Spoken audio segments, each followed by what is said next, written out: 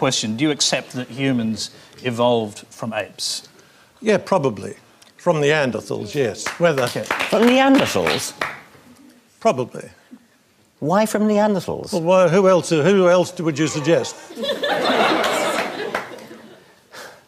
Neanderthals were our cousins. We're not descended from them. And we're both descended from. Are, are these uh, are these extant cousins? Where will I find a Neanderthal today if they're my cousins?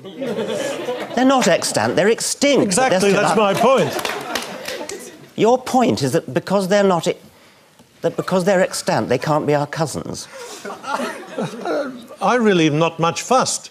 That's very clear. Uh, something in the evolutionary story seems to have come before uh, humans. Uh, a lot of people say it's But Neanderthals. can, can we say this?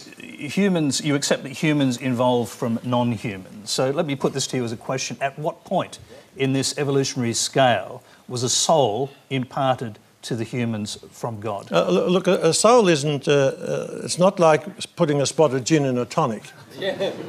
the soul is the principle of life.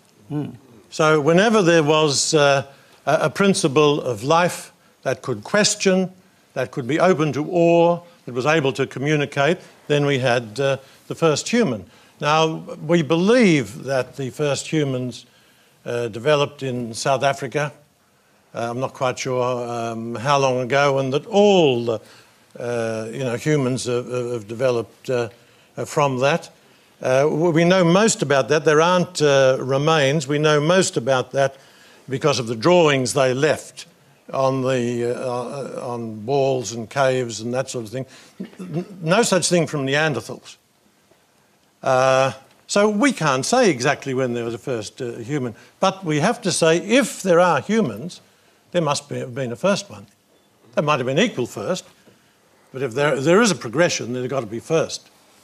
So um, uh, are you talking about a kind of Garden of Eden scenario with an actual Adam and Eve? Well, um, what Adam and Eve are terms, what do they mean? Life and earth. It's like every man. That's a, uh, a beautiful, sophisticated, a mythological uh, account. It's not science, but it's there to tell us two or three things. First of all, that God created the world and the, the universe. Secondly, that the key to the whole of the universe, the really significant thing, are humans. And thirdly, it's a very sophisticated mythology to try to explain the evil and the suffering. But of it the isn't a literal truth. You shouldn't see it in any way as being an historical or literal truth. Uh, it's certainly not a scientific truth, and uh, it's, it's a religious story told for religious purposes. And uh, just, just quickly, uh, because the Old Testament in particular is full of these kind of stories. I mean, is there a point where you distinguish between metaphor and reality? For example, Moses receiving the Ten Commandments uh, inscribed directly by God on a mountain. I'm not sure that the Old Testament says that uh, uh, God inscribed the Ten Commandments, uh, but leaving that aside, it's difficult to know uh, how exactly that worked. But there, Moses was a great man, there was a great encounter with the divine. Actually, with Moses, we get the key that bring, enables us to come together with the Greeks with, with reason because Moses said, Who will I tell the Egyptians? And he said, Tell that my name is I am who I am.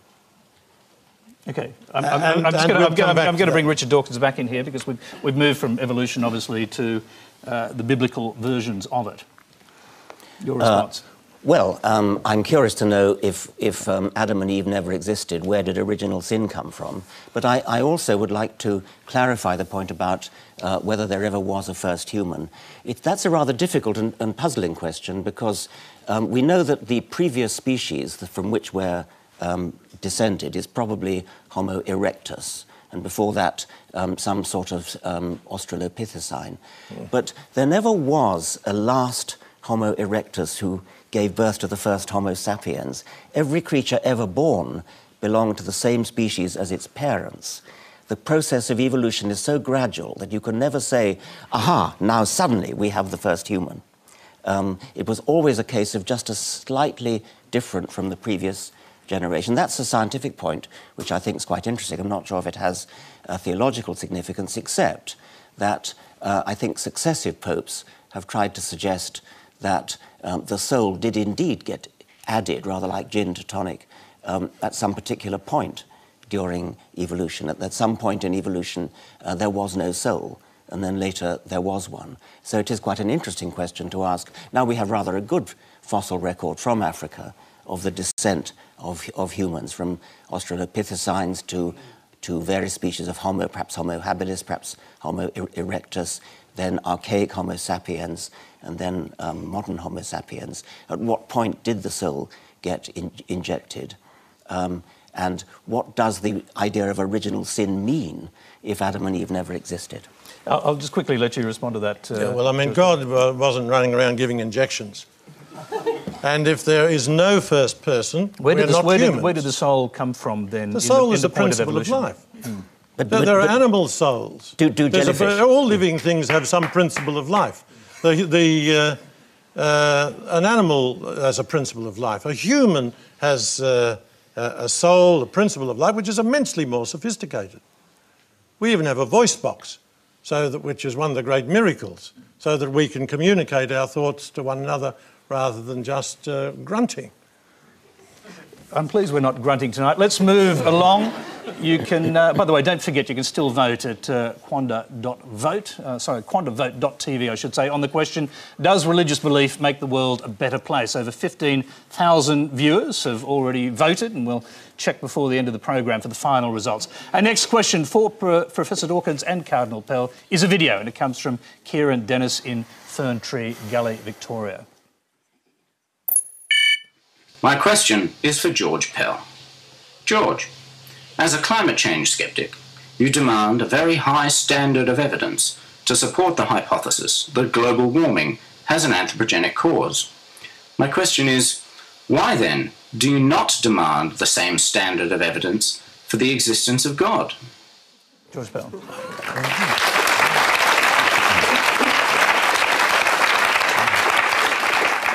Uh, I'm very, very happy to answer that. Uh, first of all, I'm not a skeptic about uh, climate change. I grew up in Ballarat. The weather was always shy. I worked for years in Melbourne. If you don't like the weather in Melbourne, wait 20 minutes. Uh, uh, think of all the nonsense people like Flannery told us about years of drought here, and now we're, we're coping with flood. So, you're, so can, can, can I just clarify that you're a skeptic about global warming I'm, leading to climate, ch- climate I'm, change? I'm, I'm a skeptical I'm skeptical uh, about the hum human contribution to dangerous climate change. I think that is not established. And, and, is, and sorry, is that because you're sceptical about scientific consensus? And is that partly driven no, no, no, by, the, by what scientists believe about